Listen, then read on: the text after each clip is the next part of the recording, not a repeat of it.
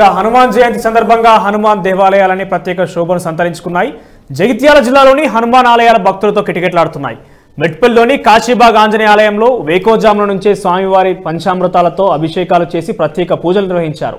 హనుమాన్ స్వాముల సామూహిక చాలీసా పారాయణం చేసి రామనామ జపం చేశారు.